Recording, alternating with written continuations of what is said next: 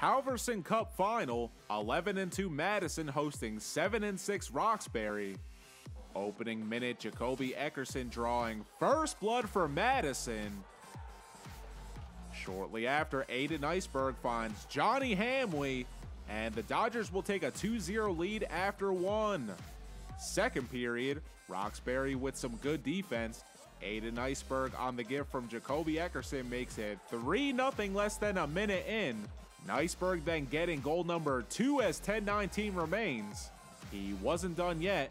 Aidan Niceberg picking up the hat trick less than a minute later makes it 5-0 Madison heading into the third. That would be your final score. Madison, your 2021 Halvorsen Cup champions.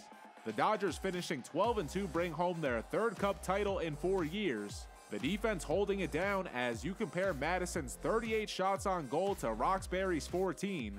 Senior Aidan Niceberg ending the evening with a hat trick. We caught up with the Dodgers afterwards. Yeah, it feels great. Even in the off season, we were uh, we were working really hard to get ready. If we were or weren't going to have a season, uh, we were still working hard. So um, again, we're just glad that it all paid off. Just the effort that everybody put in, everybody bought into the season, even though it was short. Uh, everybody put in the work, and um, I think that we deserve this. It's it's incredible.